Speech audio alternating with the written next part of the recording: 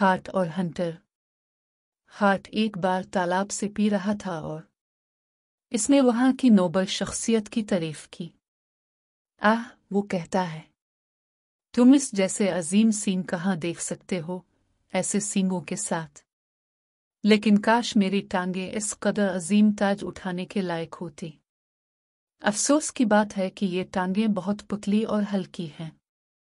इसी वक्त एक शिकारी करीब आया और उसके पीछे सीटी बजाते हुए तीर भेजा। दूर हाथ को बाँध दिया और जल्द ही इसकी फर्तीला टांगों की मदद से, तकरीबन हंटर की नज़रों से बाहर था। लेकिन ये नहीं देखा कि वो कहाँ जा रहा है।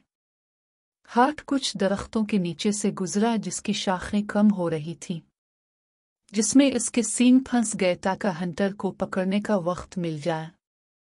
अफसोस हाय उलझे हुए हाथ ने पुकारा हम अक्सर इस चीज़ को हकीर समझते हैं जो हमारे लिए सबसे ज़्यादा मुफीद है कहानी का मोराल यह है हम अक्सर इस चीज़ को हकीर समझते हैं जो हमारे लिए सबसे ज़्यादा मुफीद है